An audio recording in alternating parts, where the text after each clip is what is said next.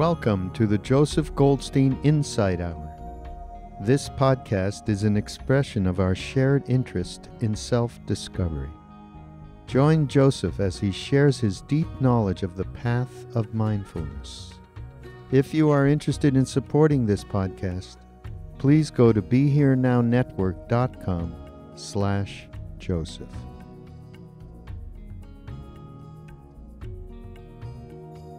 So last week we began the discussion about mindfulness of the sense spheres.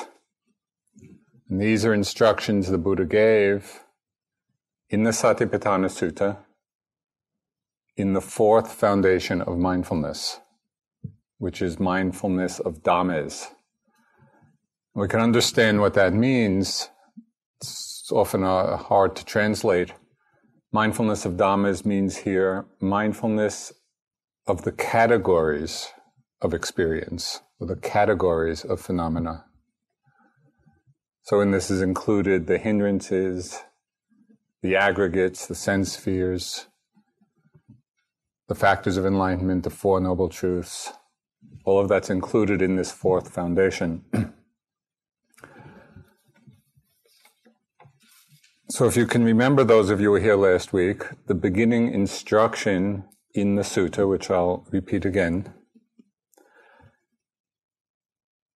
And again, imagine just that the Buddha is talking directly to us. These are instructions from the Buddha in how to practice. He said, monks, bhikkhus, which is all of us, in regard to dhammas, that is, in regard to these categories of experience, one abides contemplating these dhammas in terms of the six internal and external sense spheres. And how does one abide contemplating dhammas in terms of the six internal and external sense spheres? Here one knows the eye, one knows visible forms, and one knows the fetter that arises dependent on both the ear and sound, nose and smell, tongue and taste, body and sensations, and mind and mind objects, and the fetter that arises dependent on both. Okay, so we spent quite a bit of time last week discussing this first line of the instruction. Tonight, I'd like to continue this exploration of mindfulness of the sense spheres in the last part of the instruction. So the Buddha goes on to say, one also knows how an unarisen fetter can arise, how an arisen fetter or defilement can be removed, and how a future arising of the removed fetter can be prevented. So here we're not simply knowing the fetters that arise at the different sense doors in the different sense spheres. The Buddha is asking us to understand how they arise, how they can be removed, how they can be prevented. In other words, how we can free ourselves from the influence of these fetters, defilements, unwholesome tendencies of mind. Now, this requires a careful looking, a careful mindfulness observation of this mind body process.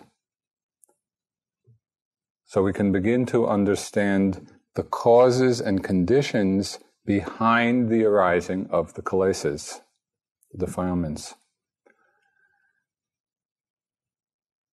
In some way, this is very analogous to all scientific research. Just, I think it was last week, there was an article in the New York Times Sunday magazine section about a lot of the advances in genetic research.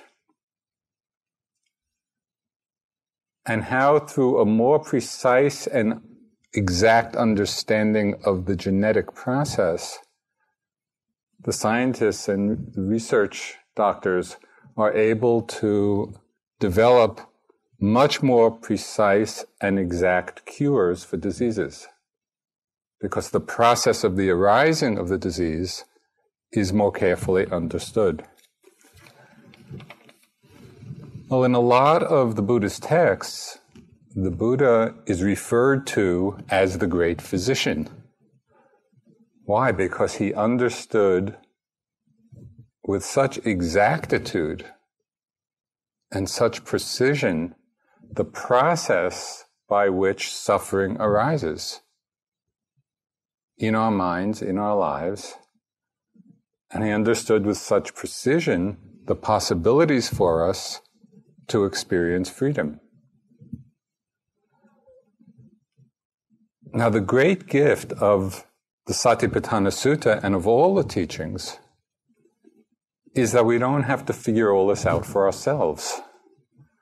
You know, as you undoubtedly have noticed, it's quite a challenge just to know an in breath and an out breath. Well, to see so precisely and carefully this very rapid process in the mind and how one thing conditions another without a map, without a guide, it would be extremely difficult for us to sort it all out. So, this is the great gift of the teachings. In one well known Buddhist chant where one chants the qualities of the Dhamma, the qualities that are honored are the fact that it can be experienced here and now. It's not postponed to some future time. That the Dhamma is timeless. It's as true now as it was in the Buddha's time. It has that quality of invitation. It's like not a question of belief. It's not that there's a dogma that we have to believe. Rather, it's an invitation for us to discover the truth of it for ourselves. It said that the Dharma is onward leading. It actually leads us to awakening, to freedom, and that it is to be practiced by the wise. So that's us. Okay, so what is this process? How do fetters arise? How can we remove those that have arisen and prevent the future arising. One of the most uh, direct teachings about this, of course, is in the very profound teaching of dependent origination. And this is sometimes referred to, this process of dependent origination is sometimes referred to as the arising or origin of the world. And in it, the Buddha describes the process that keeps the defilements arising, that keeps samsaric existence uh, rolling along. I'll just read from one of the texts. It says, And what bhikkhus is the origin of the world? in dependence on the eye and visible forms, eye consciousness arises. The meeting of these three, of eye, visible forms, and consciousness, the meeting of these three is contact. With contact as condition, feeling comes to be. With feeling as condition, craving comes to be. With craving as condition, clinging with clinging as condition, continued existence. With continued existence as condition, birth. With birth as condition, aging and death. Sorrow, lamentation, pain, dejection, and despair come to be. This, bhikkhus, is the origin of the world.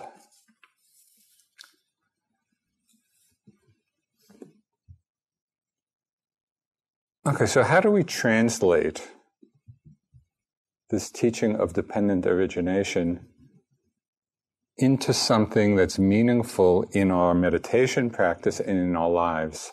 It's so easy to, re- to read this or to hear this and kind of have an intellectual, perhaps, appreciation of the logic of it. But its transforming value is when we actually see these links for ourselves in our own experience. That's the challenge for us. We can understand the links in a very, uh, on a very large scale, the large cycle of birth and death and rebirth through all the realms of existence. Really describes how that happens. But perhaps of more immediate applicability, we can apply this teaching to the unfolding process within this life. Really see it moment to moment. So there's an easy starting place. We're already born. Did anybody dispute that? Oh, we're here. So having taken birth, that already having happened, the sense spheres are a given. Right? Having taken birth, there's the eye and the ear and the nose and the tongue and the body and mind with their respective objects. Okay, so that's the foundation, that's the given, and this is why the Buddha has pulled out the contemplation of the sense spheres as a major object of contemplation in the Satipatthana Sutta. It's the foundation. Dependent or conditioned by the sense spheres, contact happens. Because of the eye and visible objects, seeing consciousness arises. Right? The ear and sound, hearing consciousness arises. So contact is the conjunction of these three things. Contact means the coming together of the sense base, the sense object, and consciousness. You with it?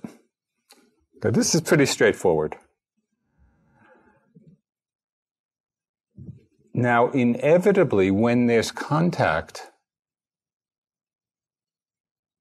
feeling automatically arises. And feeling in this Buddhist Abhidhamma sense does not mean emotion, as we sometimes use the word in English. Feeling in this sense refers to what we can call the taste of an object the flavor of it. That is, whether it's pleasant, whether it's unpleasant, or neutral. Given the sense spheres, this contact. Given contact, this automatically feeling.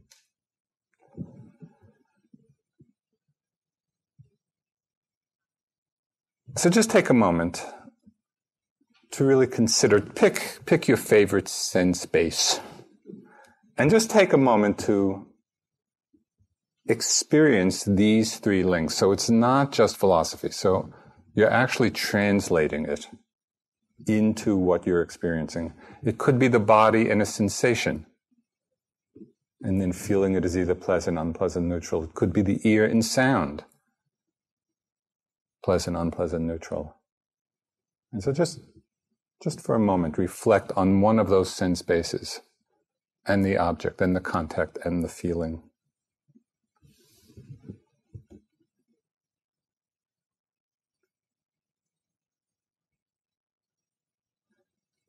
And right here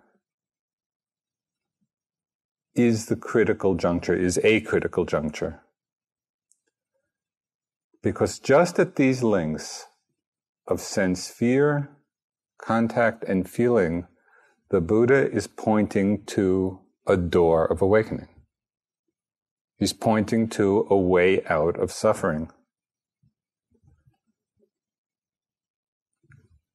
As we have experienced many times in our meditation and in our lives, when there is unwise attention to the moment of contact and feeling, which are coming together, when there's unwise attention in those moments of experience, then our conditioned reaction, our very automatic response to pleasant feeling is desire. We like it, we want it. Our conditioned response to unpleasant feeling is aversion. We don't want it, we don't like it. And our conditioned response to neutral feeling is often delusion, dullness. We don't know what's going on. So, right there is the arising of the fetter. Right there is the arising of the defilement. When we're not paying careful attention or wise attention to these three links of sense sphere, contact, feeling. That's a very uh, liberating place to bring our to bring our attention to.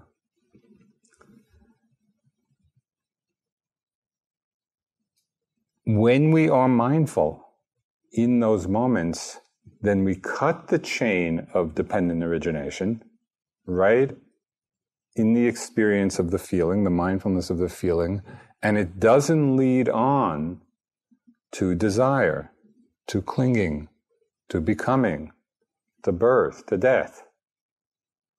Right there, we have actually cut the chain of this samsaric conditioning. So the question for all of us is how do we put this into practice? You know, as I said, it's easy to appreciate the theory of it, but how can we apply it in a very practical and pragmatic way?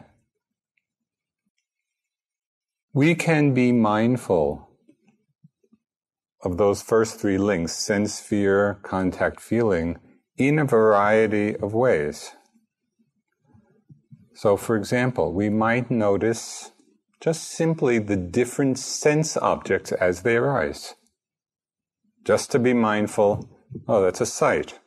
It's a visible form. That's a sound. That's a smell. That's a taste. That's a sensation. That's a thought. Just that simple recognition of the different six different sense objects, that's sufficient. It can be as simple as that being mindful moment after moment how the six sense objects are arising. We could notice the process of contact, which is where the knowing comes in. And so we might be mindful of the process of seeing, hearing, smelling, tasting. Right? Moment after moment in our experience, that's the noting or being mindful of the contact. Sense base, sense object, consciousness. And we're actually noticing. It's a moment of seeing, a moment of hearing, a moment of thinking. Again, it's not difficult. It's difficult to remember to do it. It's not difficult to actually do it. Right? And so we just keep bringing our mind back to the simplicity of this. So sometimes we could choose to note the sense object. Sometimes we could choose to notice the contact, that is the seeing, hearing, smelling, tasting, touching, or thinking. Sometimes we might emphasize simply the knowing aspect of all these experiences. You know, where we rest in the knowing. And here, there's a less effortful looking for the object, a less effortful directing the mind to the object, and it's a much more receptive awareness. We're simply settling back in the ease of knowing phenomena as they appear. And we're resting in the ease of that knowing. Now, when you hear a sound, does it require any special effort to know the sound? No, the knowing is right there. It's already there. And so we can practice both recognizing and resting in the ease of that knowing.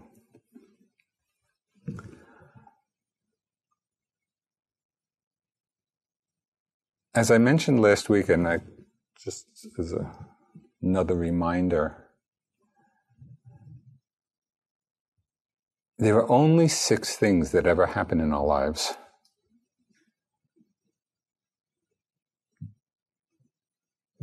There's only seeing, hearing, smelling, tasting, touching, bodily sensations, and mind objects.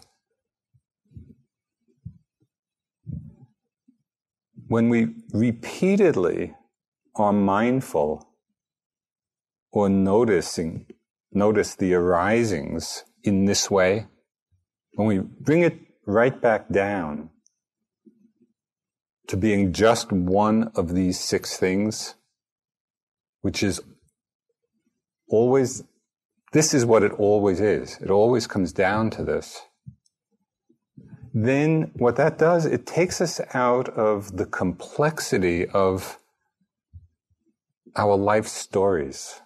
You know, we've created such an elaborate story about ourselves and our lives and our situation. And this way of being mindful just brings us right down to the immediate experience of just what it is that is actually happening. So it's powerful. It takes us out of the movie of our lives into a much more direct experience of the reality that's actually arising.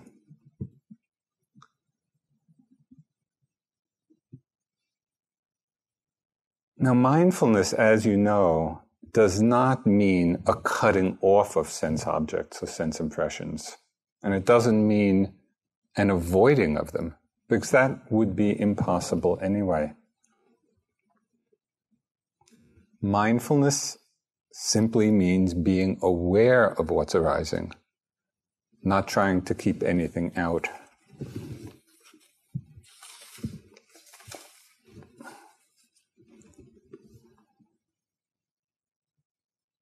Okay, so we begin by either noting the, the, sense object, or we note the contact, or we note the feeling. If we're,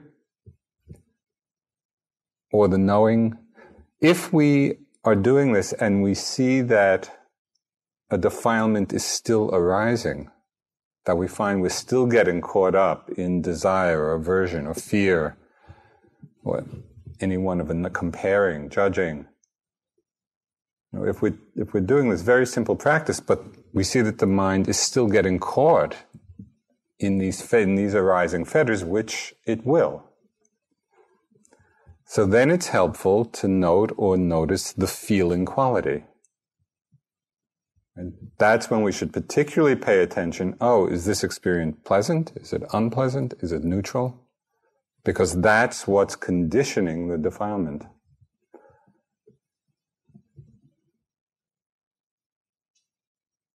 At one point in my practice, I was getting very lost in pleasant visual fantasies. Just, I would just be getting carried away by them. And at first I started noting seeing. Just seeing every time, every time it arose. Seeing, seeing. But somehow that note and the noticing was not strong enough. It was, it was just too seductive.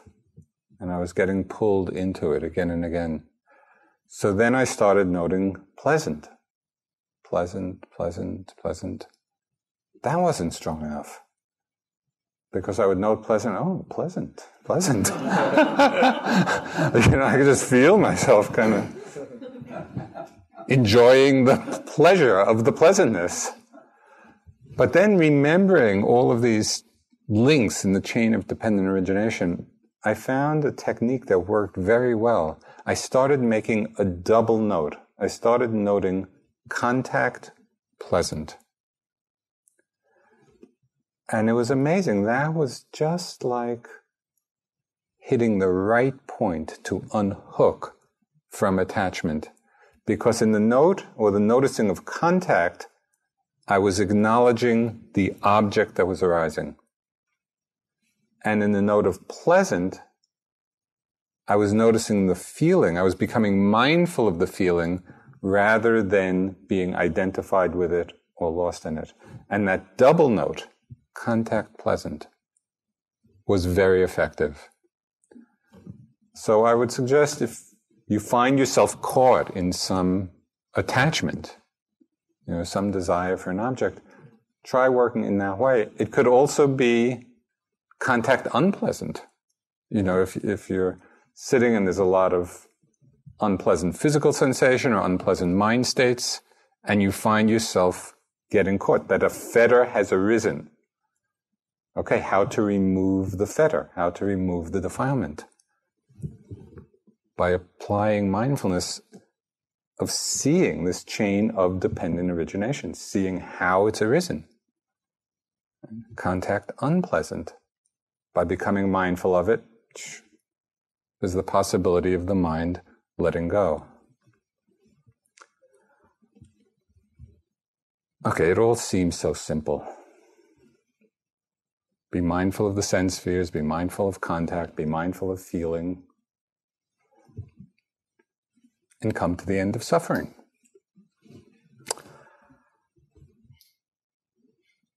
But, but, big but, we all know that there are some very long, deeply established habits of mind, tendencies of mind, which often speed us right by these various doorways to freedom and doorways to unhooking. We speed right by the contact, we speed right by the feeling, and we often find ourselves in the midst of desire because we haven't picked up those earlier links. But the beauty of this teaching is that when we understand the next links in the chain, we have some more opportunities for freeing our mind from entanglement. These are the backup possibilities in case we miss the first three. So in this situation, if we find ourselves not having been mindful of the sense sphere, the sense object, or the contact, or the feeling state, which, you know, is very quick, it's just in the moment, we can become aware, we can become mindful, bring mindfulness to bear, on the desire itself. So that becomes what we're looking at. Now, this part of the practice is tremendously illuminating because desire is one of the basic primal forces driving our life, driving the life process. This is not an insignificant little piece of our experience. The energy of desire is a primal force, right, which basically is driving samsara.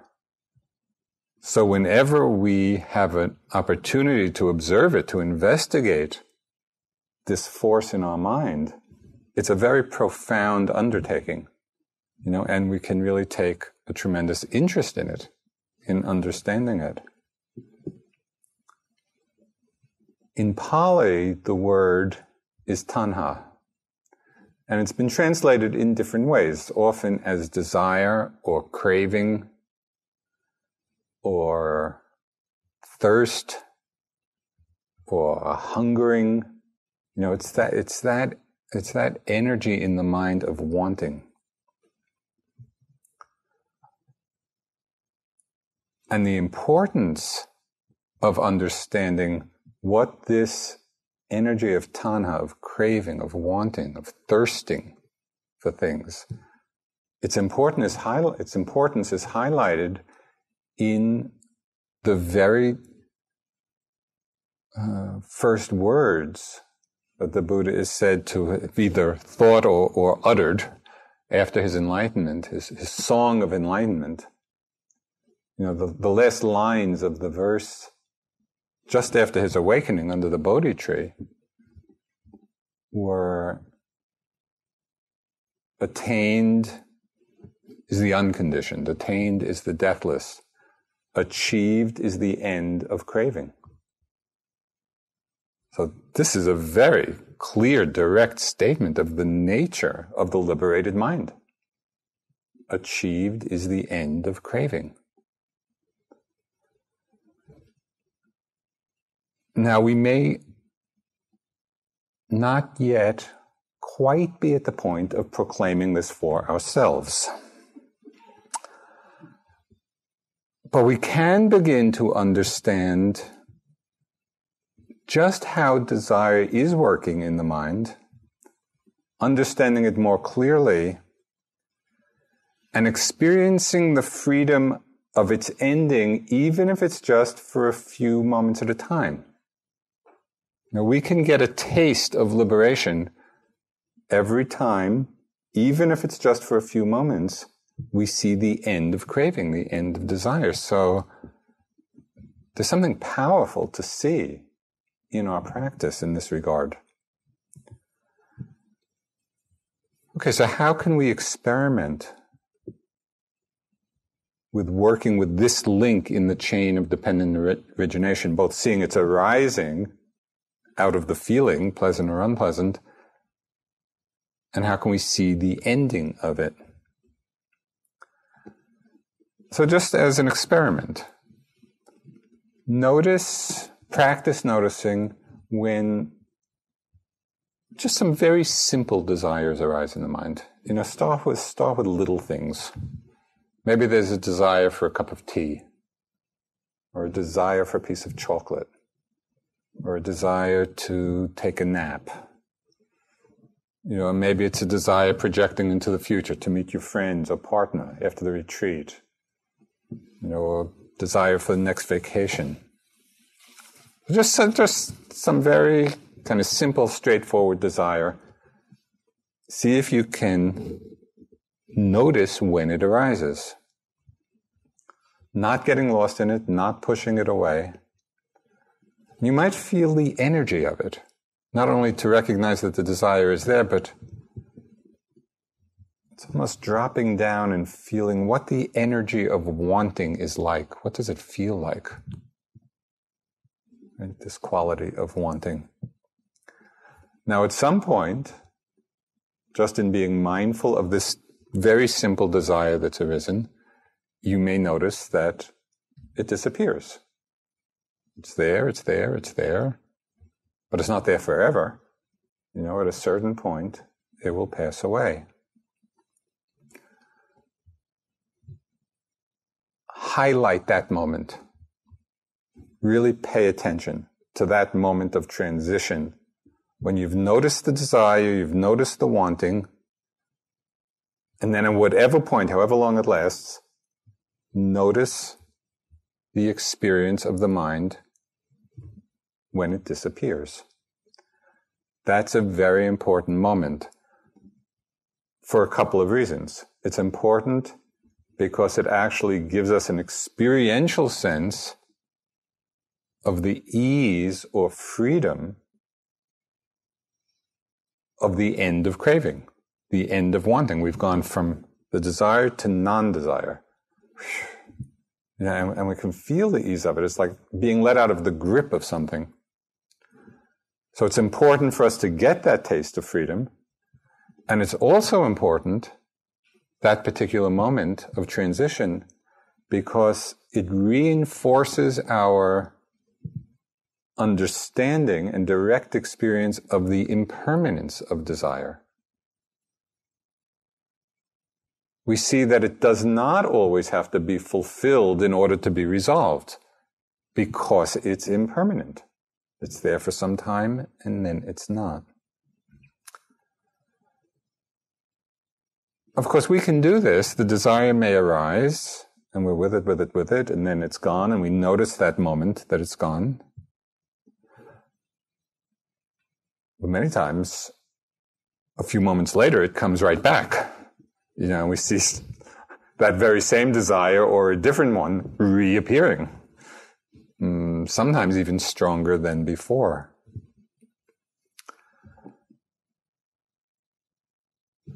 I get a, I get a kind of perverse delight in watching my mind, particularly at these times, this sequence, and particularly when this des- desire arises and I see it and I have kind of a strong resolve, I'm not going to act on that. Right? So I have a certain determination of renunciation. So I'm watching this desire and you know, it'll disappear the first time and maybe come back. It comes up again, disappear, maybe it'll come back. And after a while, it's almost as if this desire is just lurking, you know, waiting for a moment of unwise attention. And all of a sudden, the teacup is in my hands.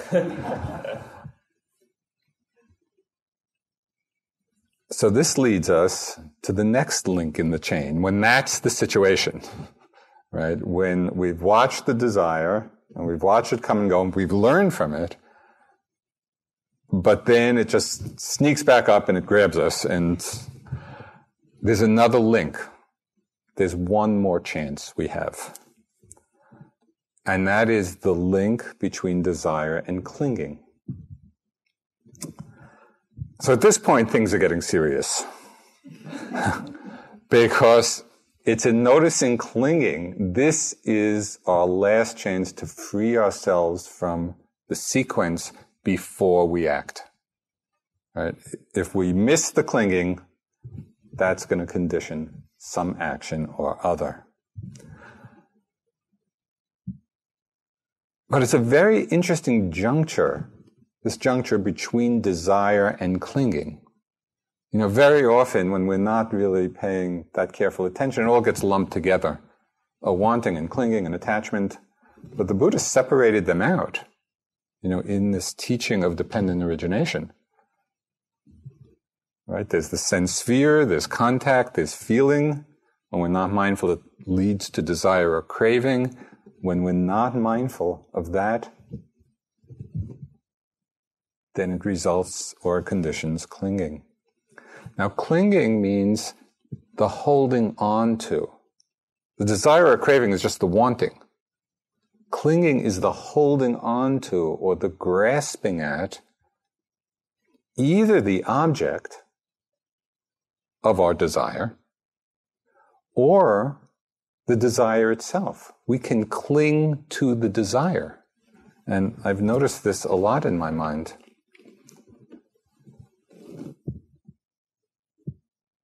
In watching the, this sequence, I find that I'm often less entranced by the actual object. And I'm more attached to the desire for it. Do you see the difference? And it's all of this is, as I've said before, all of this is an invitation for you to look into your own minds, you know, and to see all of these things.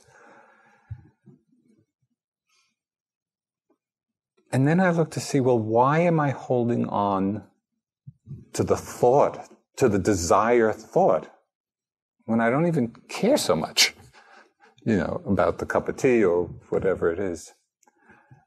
And when I look carefully, I often see that the clinging to the desire often comes or is born out of a fear of the feeling of de- deprivation. Right? There's some kind of avoid- avoidance in my mind of having that feeling of being deprived arise. And so that's what's keeping me attached to the desire. And there are a whole series of thoughts that come you know, and after a while, it becomes a little humorous.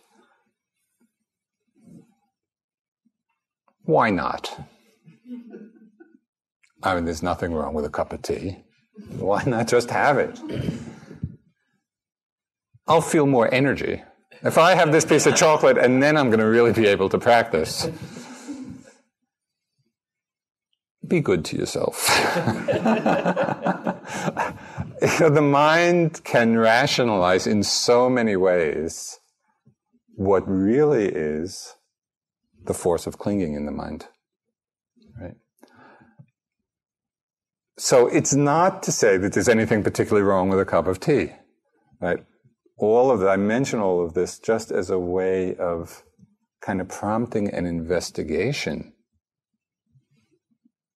for how these links condition our mind, condition our actions, condition our lives. Because these examples have been small ones, but it's also working in very big ways, you know, in big movements of mind that have serious effects.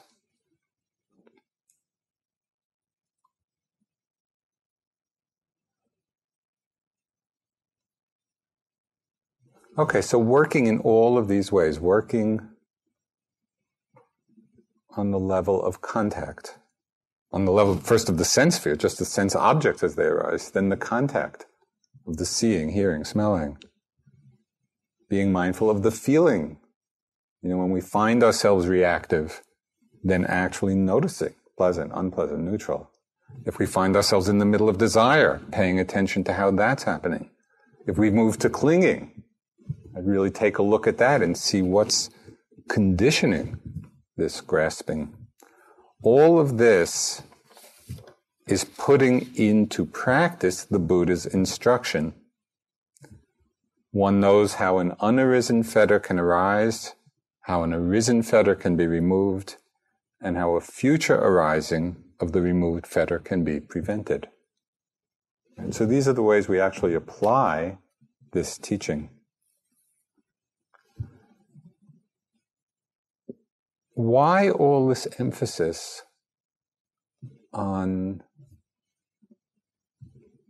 seeing how fetters arise, removing them when they're arisen, preventing them? Sayadaw U Pandita, when he was here teaching, he said one thing that v- very much lodged in my mind. And it's a very powerful teaching for me. He said, 100% of our suffering is due to defilements in the mind. 100%. If we're suffering, it's because there's some defilement in the mind. Well, that's a powerful, for me, that was a very powerful kind of wake up because it's so easy in different circumstances to put the blame for our suffering on external conditions, external causes. And it's not to say that there aren't things which cause difficulty, but if we're suffering around that difficulty, it's because of one or another of the kilesas. So really coming to to the end of suffering means that we learn how to work with and understand and free ourselves from the force of these fetters in the mind. And what's amazing about this teaching is it's ultimately completely empowering. Because it's all up to us. It's not, our suffering is not due to other people we can take responsibility for our own minds. So this is tremendously uh, empowering, you know, in our lives.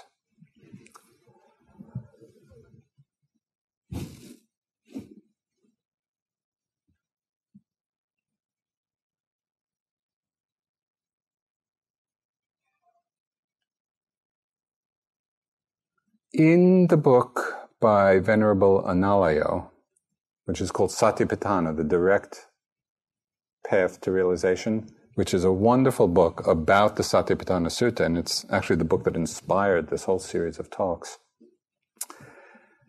In addition to these links of dependent origination, he also pointed out part of the Buddhist teachings which describes another progression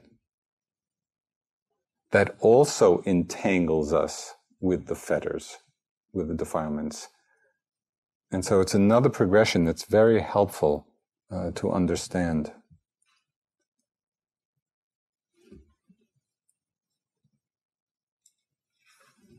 in this sequence, we start again with the sense spheres and contact and feeling, but then instead of going the route of desire, clinging, you know, becoming, the Buddha talks of how there's contact, there's feeling, and along with feeling is perception. And it's perception which leads to thought and what in Pali is called papancha, or the mental proliferation, conceptual proliferation, which we are all familiar with. You know, how the mind just starts thinking about something and then the thoughts proliferate, and then we're lost in that proliferation. So it's helpful here to look at how this is working because it's so instructive for how our lives are unfolding. So, what is perception? Perception is the mental factor which interprets experience. Right? It interprets experience by recognizing and remembering the distinguishing marks. So, on the simplest level, it recognizes the difference between red and blue, between hot and cold, between man and woman. It's, it's perception which is interpreting the sense data. And it picks out what distinguishes one thing from another, and then it remembers that, you know, with a concept.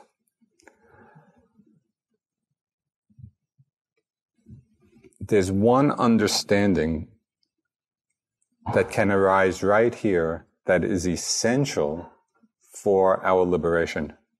It's really a key point of understanding. And that is that the perceptions we have of the world, moment to moment, of our experience, the perceptions we have are not absolutes. They are con- our perceptions are conditioned, and they're conditioned on many different levels. One of the great misconceptions that many of us carry through our lives is that our perceptions of ourselves and of the world are basically accurate and true. I mean, don't we, don't we think that? We think that the way we perceive things, mostly, is an accurate and true representation of how things actually are. This misconception that our perceptions reflect some ultimate or stable reality is the cause of tremendous suffering, both globally and also personally in our own life situations. So I'll mention just a few examples of the conditioned nature of our perceptions. On one level, the way we perceive things is conditioned by our karmic predispositions. So, what a vulture might see as a delectable meal, we would probably see as repulsive, rotting flesh. Same object, different perceptions based on the vulture's karma, having taken rebirth as a vulture, and our karma having taken rebirth as a human being. That conditions the way we perceive things. There are cultural conditions Think of all of the violence in the Middle East now. From one set of cultural values, the suicide bombers are violent terrorists, you know, causing a huge amount of suffering and destruction. From another set of cultural values,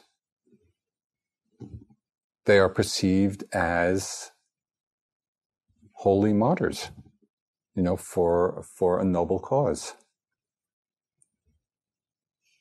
It's very rare in the midst, especially of intense situations, for people to remember that the way we perceive things is conditioned. Conditioned by a particular background, by a particular set of circumstances.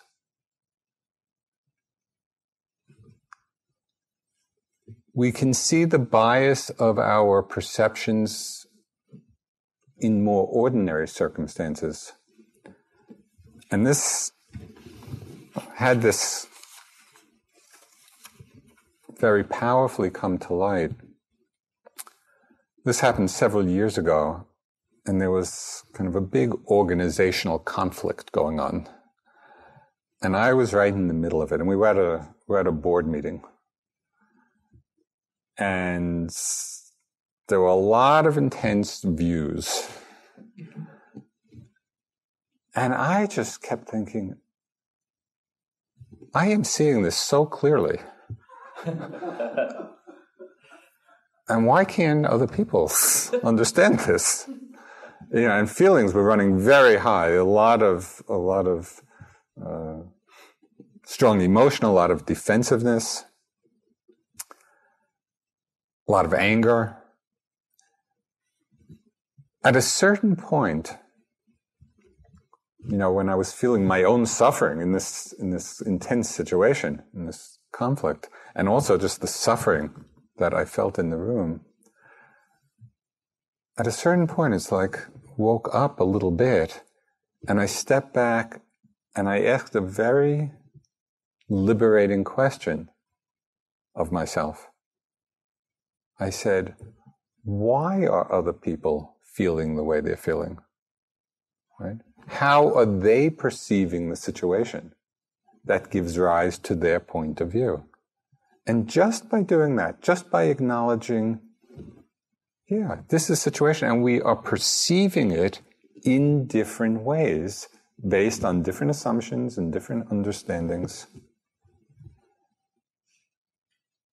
As soon as I could do that, I became much less caught in all the judgments in my mind and all the uh, strong emotions in my mind, became much easier to understand other people's points of view. Oh, that's why they feel this way. Because they're perceiving it, you know, in a particular way. At different times I've mentioned this teaching of the Zen master Bankei, He was a 17th century Japanese Zen master wrote a wonderful book called The Unborn. And one of the lines in this book where he says, Don't side with yourself. And that's really all about this understanding that our perceptions are conditioned.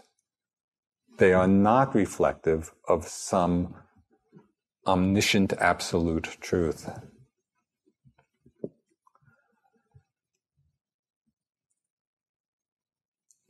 Obviously, this does not mean that we simply let go of all our viewpoints about things, but rather, if we're not so attached to them, then we can step back, see things from different points of view, and assess in a much more open, easy way well, what is the wisest course of action to take?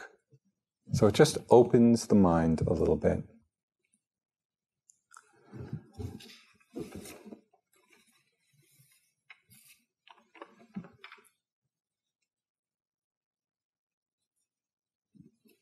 I'm about halfway through, but I think we'll continue next week. but I just want to mention one last kind of way perceptions are conditioned.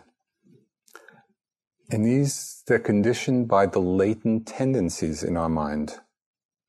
You know, that, that the habitual projections that color how we view ourselves and how we view the world. So, one common example of this, how the latent tendencies in our mind color our perceptions.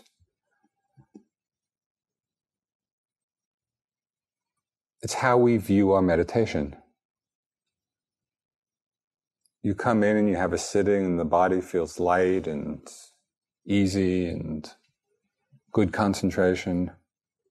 Oh, that was a good sitting. You come in and you sit, and there's a lot of discomfort in the body, and maybe there's restlessness or different hindrances. Oh, that was really a bad sitting. We don't even think of evaluating it in terms of how mindful we were. It's on a pleasant, good sitting, unpleasant, bad sitting. We're perceiving the quality of our meditation conditioned by the latent tendencies in the mind of greed and aversion. We like what's pleasant, we don't like what's unpleasant. And so we start perceiving the world through that filter. So we do this in many, many situations. We want to begin waking up to this.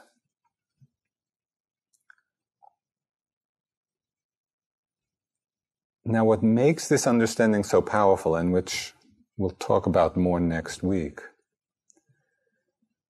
is the recognition that because our perceptions are conditioned, when we really recognize this and see this, they're conditioned by our mental habits. What this means is that we can train our perceptions. We can train ourselves to perceive things in a way that supports happiness and supports freedom. We don't have to be caught right, in ways of perceiving that keep us mired in suffering. And this is this is the great power of understanding the process of our minds, the process of how things are unfolding. It really gives us the possibility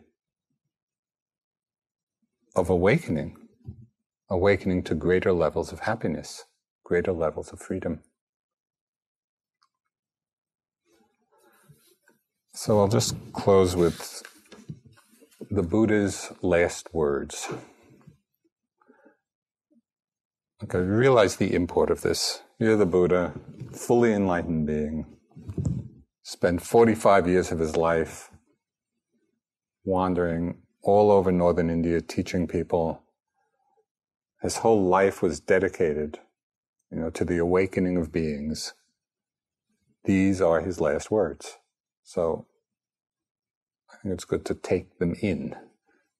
They're, they're of import. with the light of perfect wisdom, dispel the darkness of ignorance. Subject to decay are all conditioned things. Awaken through heedfulness.